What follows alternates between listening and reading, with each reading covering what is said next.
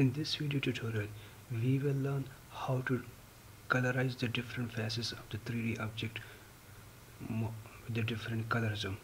So to do that, come here and click on the option shaded. Make sure that you have selected the shaded option from this drop down menu.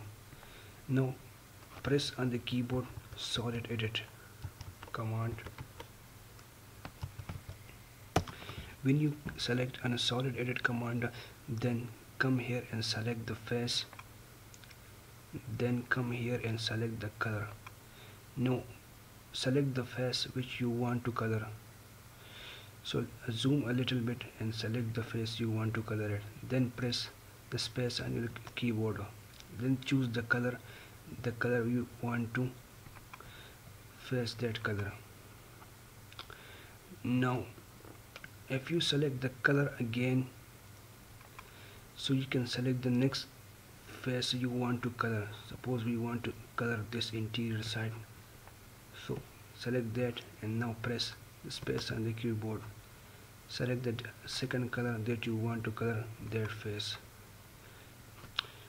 If we press escape on the keyboard we will exit from the command. Now press the solid edit option again then select the face then select the color. If we select this face then press space button.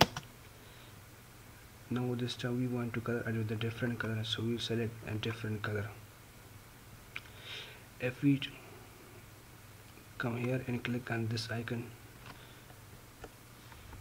now again press the command solid edit again face and then color. So select this bottom face. Then select press. Then select a different color you want to color it. Then press escape on the keyboard to exit from that command. So you can see we can colorize the different faces of the 3d object with the different colors. I hope this video will be useful to you. Thanks for watching